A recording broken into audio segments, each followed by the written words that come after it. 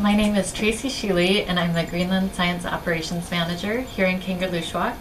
So our company works on behalf of the National Science Foundation to support all the researchers that come through Greenland that they are supporting in the field.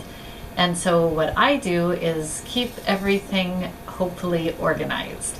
So I work with the flights to make sure that they stay on schedule. I manage our staff here. We have five of us that help with the scientists, both outfitting them to fly other places as well as doing their work locally.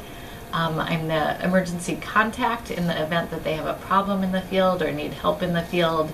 And everyone that works somewhere else does a daily check in with me.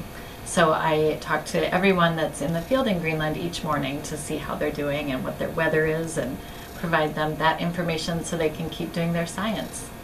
Hi there, I'm Marcy. Um, I'm a science technician at Summit Station in Greenland, and I also work down south in Antarctica um, when there are projects down there that I can help with. Um, and I'm really interested in the polar climate and glaciers and how our world is changing and responding to um, these different temperature changes that we're experiencing around the globe.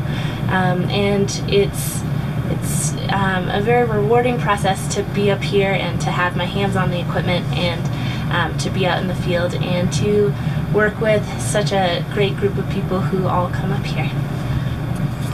Hi, I'm Elizabeth Morton. I'm an ice core driller. I work for Ice Drilling Design and Operations out of Madison, Wisconsin. And we have the subcontract from the National Science Foundation to drill ice cores for science groups in polar regions.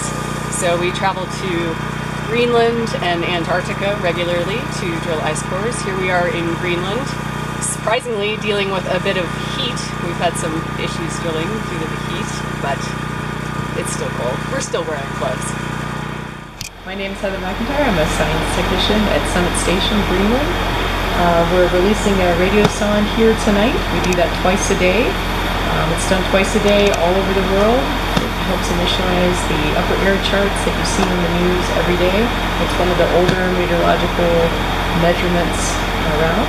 And um, yeah, that's what we're doing here tonight. Uh, the reason why I like science, it's taken me all over the world. Um, and it's helped me meet a lot of really cool people and broaden my horizons.